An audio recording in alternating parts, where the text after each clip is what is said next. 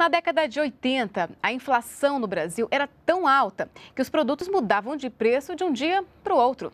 Veja hoje na segunda reportagem da série sobre o Banco Central como a instituição trabalha para combater a inflação e para manter o valor da moeda.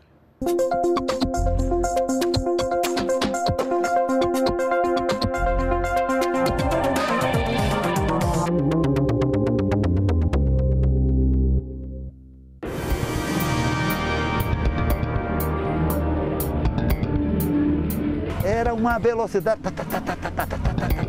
Até hoje, ao fazer compras no supermercado, José Antônio não se esquece da remarcação de preços na década de 80. Inflação altíssima. O produto chegava toda hora era remarcado. Os preços podiam mudar num piscar de olhos. Aqui, por exemplo, esse feijão, eu pego aqui, ele está com esse preço. Chegava lá já queriam cobrar outro.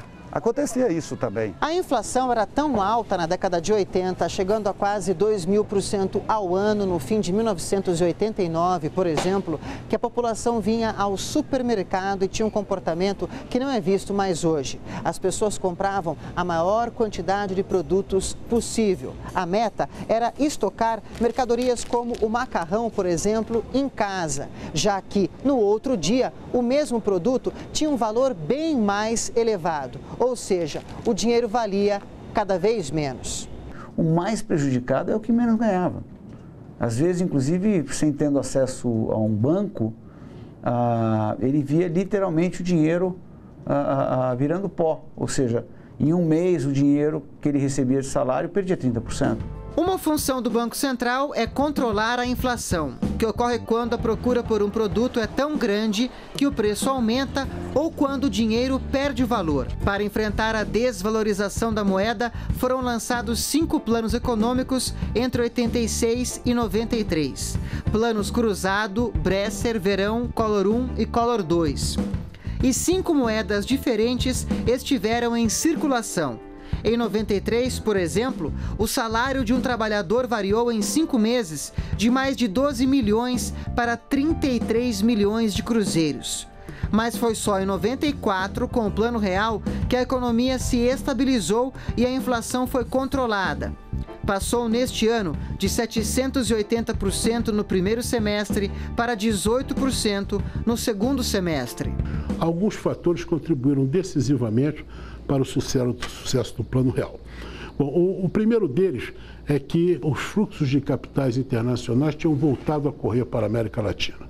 Estavam todos ansiosos para voltar a emprestar para o Brasil, projetos novos, economia emergente, essa coisa toda. O segundo fator importante foi a, a, a URV. A URV, que foi uma forma de dolarização uh, disfarçada, porque a lei impedia, mas era preciso fazer uma, alguma forma de dolarização para que os preços relativos convergissem. Em julho de 99 foi implantada uma meta de inflação que deve ser alcançada pelo Banco Central. Para medir a variação de preços e verificar se a meta é atingida, foi estabelecido o IPCA, Índice de Preços ao Consumidor Amplo, para deixar os empréstimos mais caros, as dívidas menos atraentes, incentivar a poupança e segurar o consumo, também foi criada em 99 uma taxa de juros, a Selic. Além de controlar o aumento dos preços, os juros têm outra função na economia. São utilizados como referência para qualquer operação. Quando fazemos um empréstimo ou um financiamento para comprar um carro ou um imóvel, a dívida é dividida em parcelas. E sobre essas parcelas existem juros. É por isso que a taxa chama tanto a atenção do mercado e dos consumidores.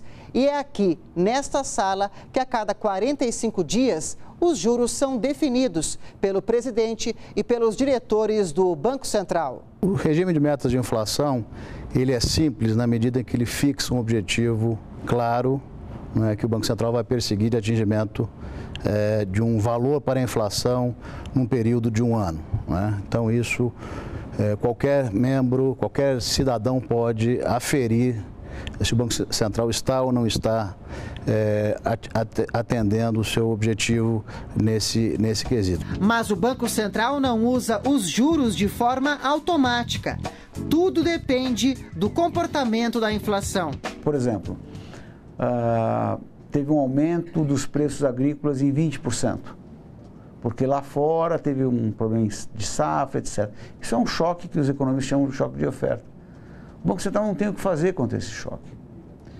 O que ele pode fazer é não deixar esse choque se propagar. Mudou, olha aí, você vê, hoje você passa aqui daqui 15 dias, possivelmente está o mesmo preço. Um mês pode estar tá o mesmo preço, pode até cair. Acontece até de cair minhas promoções, coisa que não acontecia, você não via isso cair.